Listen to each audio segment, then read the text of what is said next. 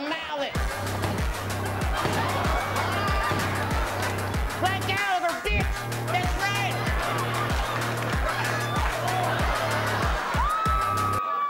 I got warrants.